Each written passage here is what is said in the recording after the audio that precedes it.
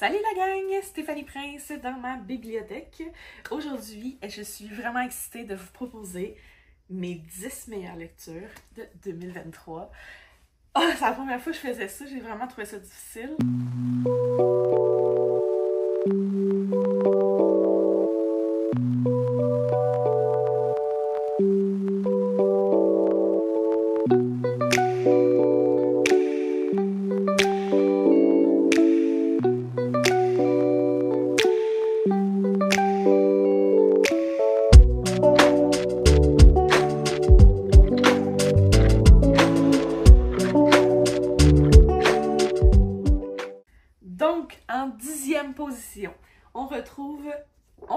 Puis on recommence.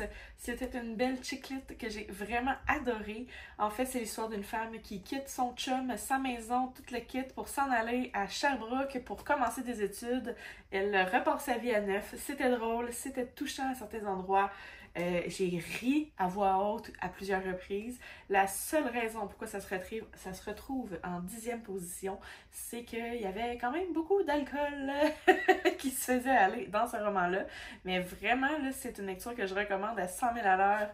J'ai tripé. C'est vraiment une de mes meilleures lectures de l'année. En neuvième position, qu'est-ce que j'ai mis en neuvième position? J'ai choisi Le Prieuré de l'Oranger de Samantha Shannon. Euh, pourquoi qui est pas plus haut? Euh, c'est parce que j'ai, oui, vécu certaines émotions, mais ça a pas. C'est pas venu me chercher méga profondément. Je pense que je sais pourquoi. C'est la partie 1 du tome 1. Donc, euh, la partie 2, d'après moi, va venir pas mal plus me chercher, mais juste le world building puis toute l'histoire qui se passe là-dedans, là, ça vaut un neuvième place pour l'année. Donc, euh, c'était l'histoire, euh, si on se rappelle bien, de la reine qui devait rester en poste parce que sinon, le dragon, le gros méchant dragon, allait ressurgir. Donc, voilà, c'est vraiment un livre que j'ai adoré. Euh, si vous aimez le fantastique, c'est mon neuvième préféré cette année. Je vous encourage vraiment à le découvrir. Ensuite, roulement de tambour, le huitième livre que j'ai adoré cette année. Il s'agit de Tireur de Caroline Pigna. C'était vraiment un livre excellent. Euh, non seulement, c'est tireur dans une école. Là. Fait j'ai même pas besoin de vous résumer l'histoire. Il s'agit de quatre ou cinq jeunes qui sont poignés dans une salle de bain. Puis là, ben, on apprend à découvrir leur vie. Mais en même temps, bon, qu'est-ce qui se passe en ce moment dans la salle de bain? Le stress du tireur qui est à quelque part. C'est qui le tireur? En tout cas, bref, c'est vraiment là, c'était excellent. Il y avait... Pourquoi qu'ils se retrouvent surtout pas surtout parce que c'était vraiment une belle histoire, une bonne histoire, mais pourquoi il se retrouve en huitième place dans mon top 10, c'est parce qu'il y a un des personnages qui présente des traits autistiques et j'ai vraiment adoré qu'on ait ce genre de personnage-là. Je trouve que ce, ce genre de personnage-là devrait être dans tous les livres qu'on lit. Euh, bref, j'ai adoré, j'ai des frissons juste à vous en parler, j'ai envie de le relire, tu sais. Euh, le personnage, en plus, euh, au niveau du style, Caroline a fait une, magnifique présentation du personnage. Puis, en tout cas, bref, il faut que vous le lisiez, là. Je vais essayer de trouver. Ah, puis en plus, euh, on empirait le stress avec le temps qui reste avant qu'on découvre le tueur. En tout cas, c'était quelque chose, là. Là, j'essaie de trouver, voyons. Quand c'est le tour de mon personnage préféré de parler, là, c'est des pictogrammes. Oh, j'ai adoré ça. J'ai vraiment adoré. Euh, bref, c'est vraiment un livre que j'ai trippé. Huitième position. Mais pour vrai, il aurait pu être avant ça. C'est juste que j'ai vraiment fait des bonnes lectures cette année. Donc, Tireur de Caroline Pigna, je vous le suggère fois mille. Alors, maintenant, euh, 10, 9, 8. Septième position, de quoi il s'agit? Il s'agit de Oh! L'ami imaginaire de Stéphane euh, Chbosky. Euh, oh mon dieu, c'était une histoire qui m'a amené là, à des endroits que je ne m'attendais pas. Là, c'était une méchante brique, ok? Il y avait 700 quelque chose, là, quasiment 750 pages. Oh my god, c'est un voyagement là, à travers ce qui existe, ce qui n'existe pas. C'était l'histoire d'un petit garçon qui s'enfuit pendant six jours et disparaît complètement. On le retrouve, puis bref, suite à ça, il y a plusieurs événements assez louches qui arrivent et euh, bref, on nous amène là, ça va en crescendo là. C'est vraiment vraiment bon. C'est pas pour rien qu'il se retrouve en septième place dans mon top 10 pour cette année. Je ne regrette pas. J'avais déjà commencé ce livre-là et je l'avais abandonné, mais tu sais, j'avais juste lu quelques pages, là, fait je l'ai pas compté dans mes abandons. Euh, parce que la grosseur du livre me faisait peur. Mais ah mon Dieu, n'ayez pas peur, allez lire ça. L'ami imaginaire, c'était vraiment bon. En tout cas, à mon sens à moi, c'était vraiment un coup de cœur. Ensuite, on y va dans l'extrême. Il s'agit de Les enfants du Moebius, écrit par euh, Elodie Tirel. Ce sont les passagers du Moebius qui ont quitté leur planète natale pour se rendre sur la Terre à nouveau. Ça fait 2000 ans qu'ils sont plus sur la Terre. Euh, ça fait plusieurs dizaines d'années qu'ils sont dans leur vaisseau. Donc, ils arrivent sur la Terre. Tout est changé, bien entendu. Est-ce qu'il y a des nouvelles choses qui peuvent avoir apparu, apparu et euh, qui vont les mettre en danger? Je vous laisse découvrir, bien entendu. Euh, c'était excellent. C'est pas pour rien que ça se retrouve à mon top 6, je pense. 10, 9, 8, 7, 6. OK. Pour être honnête, j'ai déjà le 2 et le 3. Je pense que je vais me sortir le 2 pour le lire dans, mes, dans pas long parce que j'ai vraiment adoré. Euh, je pense aussi que c'est un livre que vous pouvez aimer. Euh, ne vous laissez pas distraire par la petitesse du livre.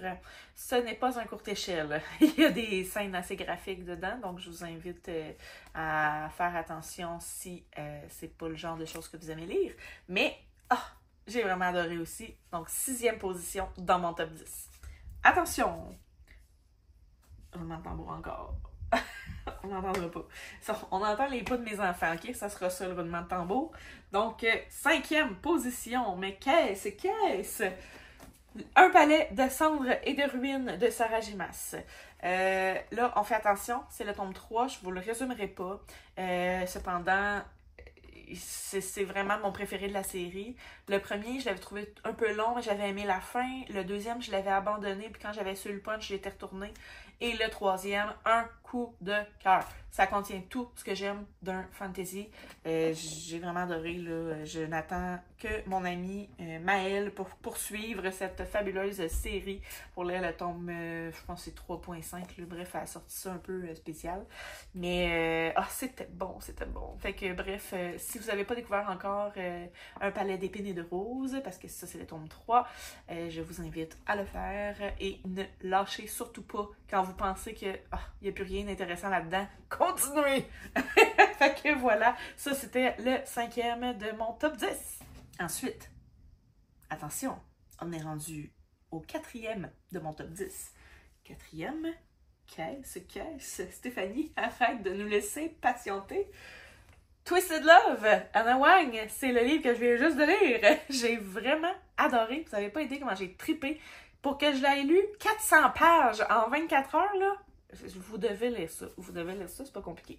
Donc, euh, je voulais résumer dernièrement. Je peux vous en refaire un mini résumé. Donc, euh, c'est l'histoire de euh, Alex Volkov, qui est un homme d'affaires émérite. la petite sœur de son ami est assez fofolle. Pas fofolle. pas en tout. elle est très elle se met dans des positions pas possibles sans faire exprès. Donc, euh, Alex va être là pour la protéger pendant que son frère, le, grand frère d'avant, s'en va euh, faire un internat dans un autre pays, euh, bref, en médecine. Et bien entendu, une petite histoire d'amour, une grande histoire d'amour qui, qui, euh, qui commence. Euh, amour style euh, After Fifty Shades, fait qu'il faut avoir en tête que ce sera pas quelque chose de. c'est pas quelque chose qu'on s'attend réellement d'une relation, mais c'était un livre excellent, j'ai adoré. Je me demande si vous savez, là, je, je suis pas au courant. Twisted, Twisted Love ou je sais plus, Twisted quelque chose, là, 2, 3, 4. Est-ce que c'est d'autres personnages du roman ou c'est totalement autre chose, d'autres personnages? Vous pourriez peut-être m'indiquer si jamais vous les avez lus ou euh, parce que je sais qu'ils sont sortis en anglais. Euh, vous me direz, euh, je pense que j'ai vu deux en plus dernièrement en français. Fait que je sais pas s'il est sorti au Québec. Bref, on va se renseigner là-dessus. Si quelqu'un est au courant, gênez-vous pas pour me le dire en commentaire. Mais c'est vraiment un livre que j'ai adoré en 2023. Ensuite, le troisième livre de mon top 10. Mais qu'est-ce, qu'est-ce? Assoiffé de Tracy Wolf. Donc là, j'ai pris juste le tome 1, mais tu sais, je mettrais pas mal tous les tomes que j'ai lus. J'ai lu jusqu'à Prisonnier, qui était ben, en français, le tome 4, mais qui va avec le tome 3. Donc, en gros, c'était le troisième si on se en anglais. En tout cas, tu sais, il y en a qui aiment ça faire ça compliqué. Fait que, voilà, euh, j'ai vraiment trippé. C'était comme une mini parodie, là. Je sais qu'on est un peu sur toilette dernièrement, là. Euh, sur ma chaîne, en tout cas. c'est... On dirait que c'était un peu une genre de parodie de toilette, mais c'est pas une parodie parce que c'est pas... Tu sais, oui, c'est drôle, mais c'est juste des petits clins d'œil à Twilight. Bref, j'ai vraiment capoté. C'était tellement bon. C'était drôle. Il y a des choses qu'on s'attend pas, pas en tout. J'ai vraiment été surprise. Fait que, tu sais, pour que ça me surprenne, ça en prend beaucoup. Fait que, voilà, c'est définitivement mon troisième préféré de l'année 2023. Je vous le recommande fortement. Là, je pense qu'il y en a trois autres de plus de sorties, là, à moins que le dernier, il, approche bientôt, là. Mais je suis un petit peu en retard. Il serait temps que je m'en remette. Que je m'y remette. En tout cas, euh, ouais, c'était vraiment bon. Euh, l'histoire, l'histoire. Est-ce que je vous raconte l'histoire? Donc, c'est une jeune fille qui arrive dans une nouvelle école où se balade tout, euh, tout normalement des vampires, des loups-garous, euh, bref, plusieurs sortes d'animaux, non, de personnages. Euh, bien entendu, il y a le sombre et mystérieux Jackson. Euh, qu'est-ce qui se passe avec lui? Donc, je vous invite vraiment à découvrir ça. C'est du bonbon. Ça se lit tout seul, c'est vraiment excellent. Donc voilà, ton, ton troisième préféré de 2023. Ensuite, que se passe-t-il pour le deuxième favori de l'année? Il s'agit de tant que fleuriront les citronniers de Zulfa Katou. Je ne peux pas m'empêcher de mettre ce livre-là dans mon top 10. C'est vraiment trop quelque chose qui m'a qui m'a touché puis qui va rester longtemps dans ma tête. Euh, c'est une histoire crue, c'est une histoire douce à la fois, malgré les horreurs de la guerre. Euh, ça, ça se passe en série, mais ça m'a drôle, pas drôlement, mais étrangement fait penser à ce qui se passe euh, en ce moment de l'autre côté de notre continent. Voilà, donc c'est Salama qui a tout perdu, qui vit dans sa petite maison avec sa soeur enceinte et elle travaille à l'hôpital alors qu'elle n'a aucune formation. Euh, de médecine. Elle euh, étudiait comme euh, pharmacienne. Elle était dans sa première année. Donc, c'est une belle petite histoire d'amour aussi. Une romance à travers. Donc, je vous invite à découvrir ça rapidement si ce n'est pas fait encore. C'est nécessaire, c'est beau, c'est dur, c'est laid. Bref, c'est quelque chose à découvrir. Top 2. Mon deuxième préféré de l'année. Et finalement, si vous me suivez sur les réseaux sociaux, genre Instagram, Facebook, etc., vous savez c'est quoi mon top 1. C'est impossible que vous sachiez pas ce que c'est. Donc, roulement de tambour. J'ai les deux tomes. Il s'agit de Fort Wing et Iron Flame, bien entendu. Donc, ce sont des livres que j'ai lus en anglais. Euh, donc, ils sortent bientôt par contre, fait que soyez soyez attentifs, soyez euh, sur le qui-vive, parce que la version francophone de Fort Wing sera parmi nous, je pense c'est le 7 février. Euh, si je ne me trompe pas, par contre, c'est en France. Donc, ça va prendre quelques semaines avant que ça arrive euh, au Québec. tu sais, mettons, attends, février, mars, avril. Avril-mai, peut-être? en français au Québec. Fait que bref, on va suivre ça de près. Euh, je vais le relire en français. Il est hors de question que je ne le relise pas en français. C'était excellent. C'était vraiment bon. Euh, je vais reprendre les éditions collector en français, c'est sûr. C'est clair, net et précis. Euh, donc, c'est l'histoire d'une école de dragons, tout simplement. Donc, il s'agit de Violette qui s'en va à l'école de dragon, qui était supposée devenir scribe, puis finalement, sa mère a décidé non, non, non, tu t'en vas devenir, euh, on va dire, dragonnière, là. je sais pas comment ils vont appeler ça en français, mais en anglais, c'est rider. Donc, euh, voilà, elle s'en va dans cette école pour apprendre à chevaucher des dragons, mais. Fly or Die. C'était malade comme livre. J'ai pas de mots parce que j'ai passé à travers toutes sortes d'émotions en lisant ça. Euh, Violette, je l'adore. Euh, elle, a un petit peu une tête de cochon. Fait que moi j'aime ça. Xaiden, oh my god. Voilà. Euh, je vous souhaite une excellente lecture en lisant ça. Vous ne pouvez pas pas lire ça. C'était d'une. Ça, va être un film, non, une série, je crois. euh, avec Amazon. Donc, Prime Video vont sortir une série pour euh, Fort Wing. Euh, une série que j'attends hier, genre. j'espère que ça va sortir bientôt. ça, c'est un des livres en plus que j'avais à noter. J'en ai pas fait beaucoup, mais ça, c'en est un. Donc, voilà. C'est. Je ne pouvais pas ne pas le mettre en première position. pour le tome 2, euh, pour moi, ça a été aussi excellent. J'ai vraiment aimé que ce soit en deux parties. Euh, j'ai autant aimé, je crois, la première partie que la deuxième partie. Ça se passe à deux endroits différents. Donc, euh, voilà, je, je, je, j'ai pas de mots. C'était majestueux. Je peux juste vous dire d'acheter le livre en français quand il va sortir si jamais vous lisez pas en anglais. Si vous lisez en anglais, mais là, attendez pas, là, allez le chercher tout de suite puis commencez ça hier. Fait que, ah, c'est ça. C'était une magnifique année 2023 de lecture. J'ai lu 106 livres sur 100.